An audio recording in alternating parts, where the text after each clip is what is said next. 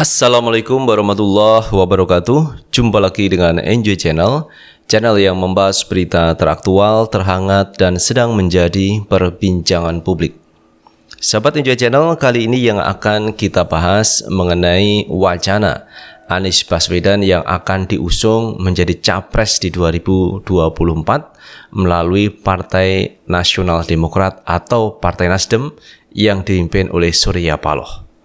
Dan wacana ini teman-teman bisa menjadi sebuah kenyataan. Karena kalau kita melihat dinamika perkembangan di internal Partai Nasdem ini, sosok Pak Anies Baswedan ini menjadi salah satu nama yang cukup luar biasa besar gaungnya teman-teman di Partai Nasdem. Sehingga eh, Pak Anies ini bisa mengalahkan kandidat-kandidat lain yang akan diusulkan menjadi calon presiden di Partai Nasdem. Sebut saja namanya teman-teman ada nama Pak Prabowo, ada Ganjar, ada Puan Maharani. Ini yang juga diusulkan untuk menjadi capres di 2024 oleh Partai Nasdem.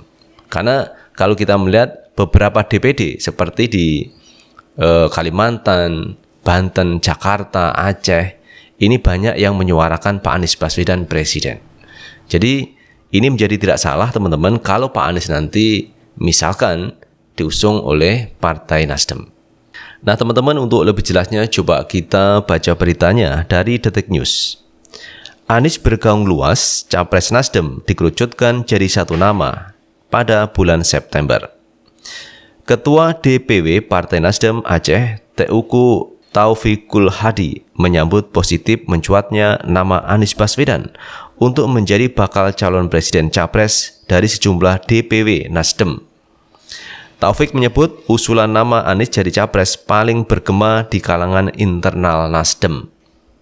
Kami cukup senang melihat perkembangan rencana pencapresan Pak Anies Baswedan di tubuh Partai Nasdem sejauh ini.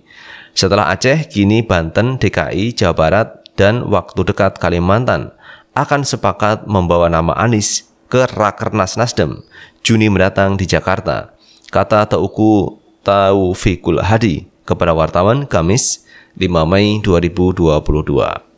Saat rapat kerja nasional atau Rakernas pertengahan Juni nanti, tiga nama yang sudah disaring DPP dari usulan DPW Nasdem akan diserahkan kepada Ketum Surya Paloh. Sedangkan September nanti dari tiga nama itu dikerucutkan menjadi satu nama. Jadi di bulan Juni 15 sampai 17 teman-teman di bulan Juni 2022 itu Rakernas.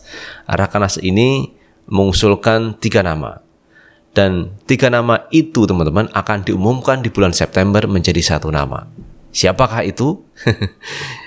Jadi kalau kita melihat dinamika di DPP maupun di DPW teman-teman, banyak yang mengusulkan Pak Anies Baswedan menjadi calon presiden dari Partai Nasdem.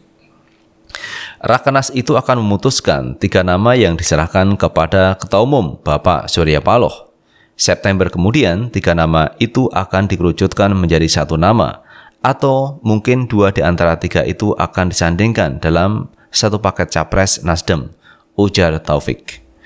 Intinya, segala keputusan nama capres Nasdem berada di tangan Surya Paloh.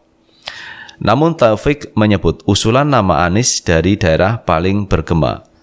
Semua kami serahkan kepada Ketum Nasdem Bapak Surya Paloh nanti. Namun sejauh ini yang dapat saya sampaikan, nama yang bergaung yang sangat luas di Nasdem adalah Anies Baswedan imbuhnya. Seperti diketahui, nama-nama yang diusulkan kader Partai Nasdem akan disodorkan ke DPP Nasdem kepada Ketum Surya Paloh akan menjadi Capres 2024 mencuat. Setidaknya tiga nama kuat itu adalah Andika Perkasa, Anies Baswedan, dan Ganjar Pranowo. Pokoknya semua nama-nama bagus. Kriterianya bagus-bagus semua. Ada kepala daerah, ada menteri juga. Kata Pendum Nasdem Ahmad Sahroni pada hari Selasa 3 Mei 2022. Sahroni menyebut sejumlah nama ada nama Gubernur DKI Jakarta Anies Baswedan hingga Gubernur Jatim Kofifa Inter Parawansa yang masuk dalam radar Partai Nasdem.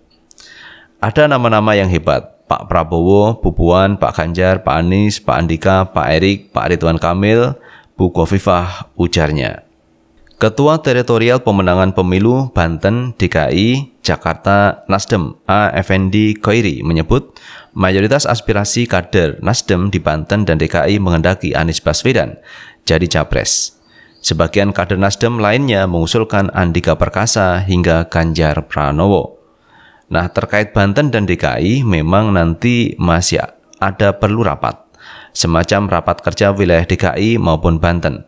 Tapi berdasarkan aspirasi dari bawah, dari DPD, dari DPW, dan dari DPD-DPD itu mencerminkan DPC, DPC juga mencerminkan aspirasi ranting, juga mencerminkan masyarakat mayoritas Banten dan DKI.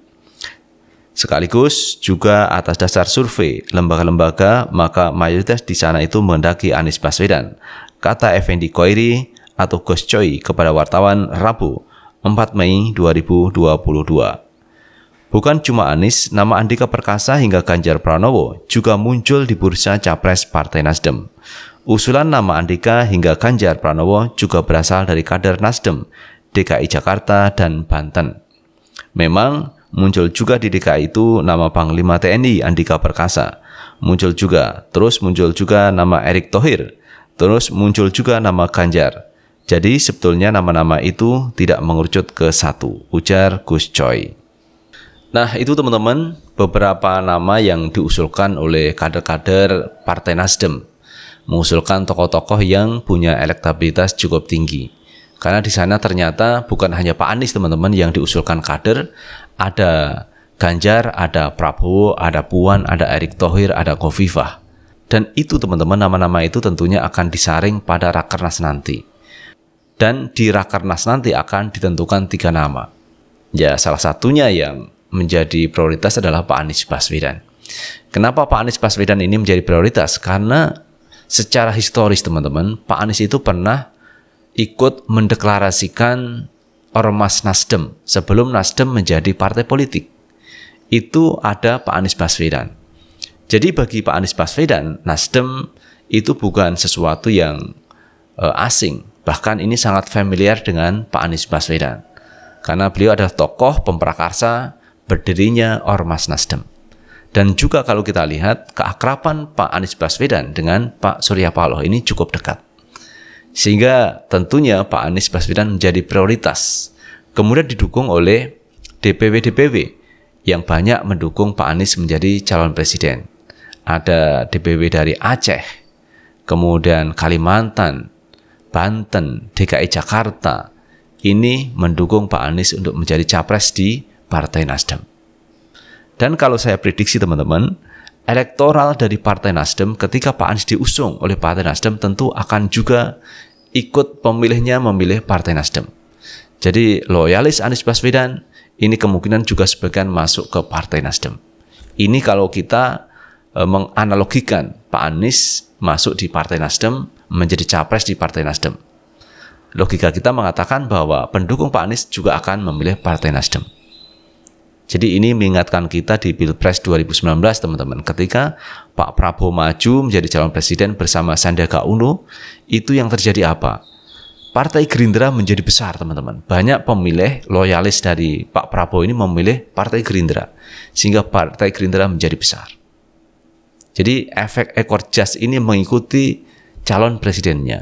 Nah, kalau nanti teman-teman Partai Nasdem ini mengusung Pak Anies, tentu saja pemilih atau orang yang e, mendukung Pak Anies Baswedan juga akan memilih Partai Nasdem. Sehingga Partai Nasdem akan menjadi partai yang besar.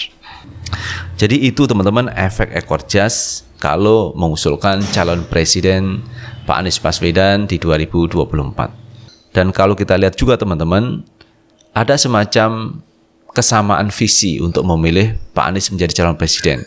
Di antara partai-partai, misalkan PKS, PAN, P3 ini punya kesamaan visi dengan Pak Anies Baswedan. Sehingga ada tambahan Partai Nasdem ini menjadi semakin kuat, semakin kokoh pijakan Pak Anies Baswedan untuk maju di 2024. Apalagi teman-teman, Partai Nasdem ini bisa menggait atau bisa berkoalisi dengan Partai Demokrat. Wow, ini akan menjadi lebih besar teman-teman kekuatan Pak Anies Baswedan. Karena beberapa lembaga survei ini mencoba untuk melakukan perhitungan jika Pak Anies ini disandingkan dengan AHY ternyata suaranya juga cukup luar biasa bagusnya. E, tidak salah kalau misalkan nanti calon wakil presidennya itu adalah AHY, koalisi akan semakin kuat. Ada Nasdem, ada Demokrat, ada PKS, ada PAN, ada P3, dan ditambah dengan partai-partai yang hari ini mau menjajal kontestasi pemilu di 2024. Misalkan Partai Umat. Ini saya melihat kecenderungannya akan memilih Pak Anies Baswedan. Itu teman-teman yang bisa kita bahas kali ini terkait uh, rencana Rakernas Partai Nasdem yang akan mengusulkan tiga nama capres di 2024. Di antara yang diunggulkan adalah Pak Anies Baswedan. Lalu bagaimana menurut pendapat teman-teman sekalian? Tulis di kolom komentar karena komentar teman-teman akan sangat bermanfaat untuk yang lain. Sukses selalu. Assalamualaikum warahmatullahi wabarakatuh.